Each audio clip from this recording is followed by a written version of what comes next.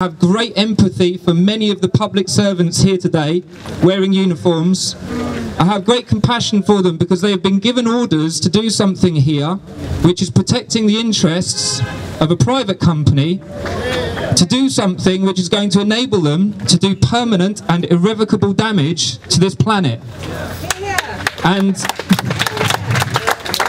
and it is part of the police officer's oath that they are here to, to uphold the duty of care, to make sure that we do not harm our neighbours.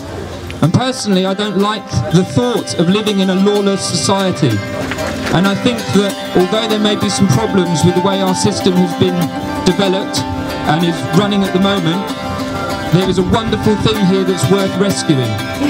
And it's about asking our public servants to honour their, their, the jobs that they've been entrusted by us to do.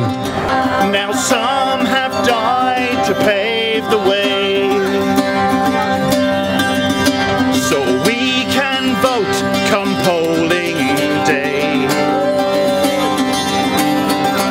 Marks the spot that gives us our voice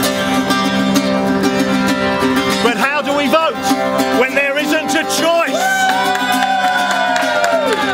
If you thought that we would do nothing, you've misunderstood. For we are the sons and daughters of Robin Hood. It seems to be that there's a few hundred police down here and a lot less protesters and it's quite aggressive actually. It's quite aggressive what's happening. Big lorries, police lining up along the side of the road, innocent protesters sort of being pushed. It's aggressive and they may say that they're there to protect us, to protect, but I, I, suggest, I suspect they're there to protect the interests of, of the uh, Cuadrilla in this case. I think this is really a testament to the fact that, first of all, the people in this camp are not being listened to. They're not being heard. And when they are speaking, their words are being twisted. And that's just a great shame that the establishment feel necessary to behave in that manner. And secondly, that it is testament to um, the nature of our society that something which is considered to be progress uh, needs the protection um, of um, the muscle within our society. The police presence here has been not only overestimated for the size of protesters and peaceful protests, but just um, very disgraceful, disgusting. You know, I've witnessed many disgusting things here. Uh, kicking shit people's shins, stepping on the back of your, your heels as, you're, as they're pushing you along, and then if you fall over, boom, you're immediate arrest under some trades union, you know, kind of um, act or something. It, there's how many protesters and how many police? Do we need as many police here uh, to basically, apparently, protect us? Um, I don't see much protection going on. I see protection of the trucks. I see the protection of the interest of Cuadrilla, but I don't see the so-called service to the public, service to the uh, keeping protest alive. I don't see that happening.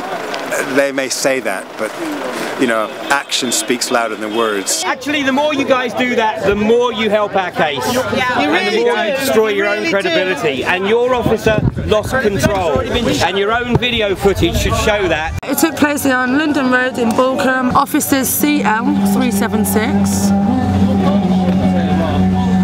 and CL776 were pushing people despite repeated requests for them to stop pushing. What upset me, apart from all the pushing and shoving and hitting, was this verbal abuse that they'd given, which I didn't really respond to at the time because I was being flung about.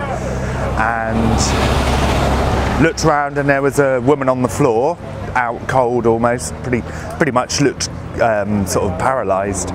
They started saying, "Get out the way, you stupid bitch." Um, you stupid bitches, get out the way.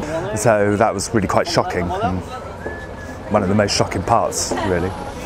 We appreciate your point of view. You have to understand that we're here to do a job as But you well. also have a choice. You and all your all your fellow officers have a choice. You know, because otherwise, I mean, basically, what you're you're saying is you're using the defence that is used by pretty much all war criminals. Now, I'm not suggesting that you are in the same league Just following yet. orders. You're just following orders. I have a lot of faith in the justice system of this country. Okay? Really? And, and, and, it, and it is going to be fought out in law, law courts. Okay, Now drilling in Morecambe will do you just fine. You wanted to sell off our forests like you closed down. But if you thought that we would do nothing, you've misunderstood. And why is that, ladies and gentlemen? For we are the sons and daughters of Robin. The only reason that um, the police officers have been given orders to protect this site over uh, the last few weeks is because the chairman of the uh, se- the select committee, the um, well, sorry, rather the chairman, the CEO of Cuadrilla happens to also be one of the key members of the select committee, uh, select committee for energy uh, that's advising our government. This kind of conflict of interest is absolutely rife in our public service, and until we address this, until we assert our rights as human beings, as citizens of this country, and we address the public servants who are not upholding the trust with which we have placed in them, this will continue. And this requires an educated, uh, autonomous, and honourable public in order to make that happen. This camp here is primed on peaceful resistance. To peacefully resist is an action that is earthed in love. Love for those who do not welcome this act of resistance, and also love for the object that one apparently feels one is protecting. This is not what Dominic Lawson so callously called in The Independent some sort of soil sentimentality. Um, this is actually much more about a hard edged realism that the manner in which we corporately are giving permission to others to treat this planet is not the way forward. This is not about fluffy bunny rabbits and sweet little lambs and lovely little water bowls. So let's just get that straight. To peacefully resist means that I have to love my brothers and sisters who disagree with me, but I also have to remain firm in my conviction um, that what I am doing is something that I am called to do. And perhaps we might meet in the middle. Perhaps at least we might have a dialogue about this. Uh, but I am committed to peaceful resistance.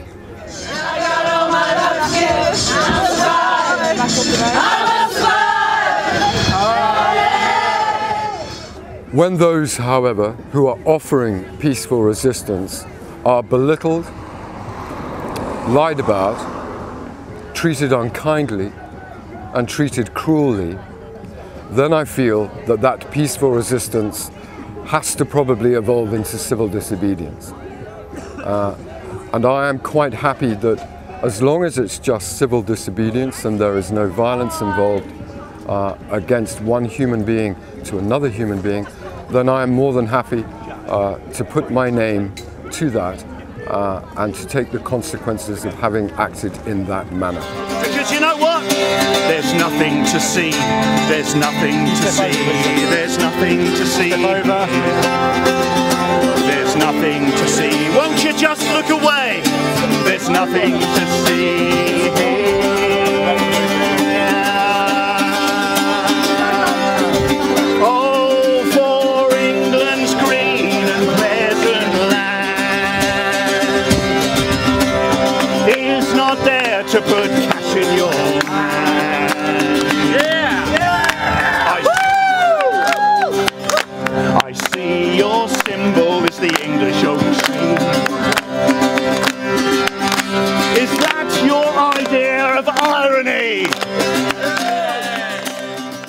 Now is the time to talk.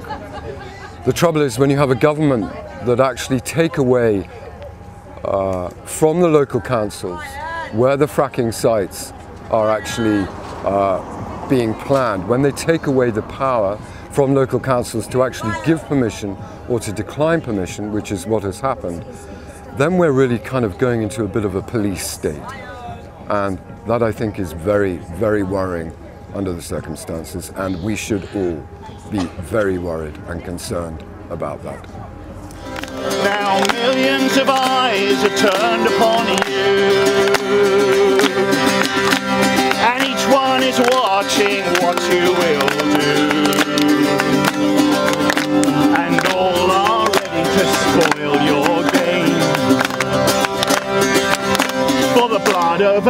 Outlaw, it flows in our veins. That we would do nothing you've misunderstood.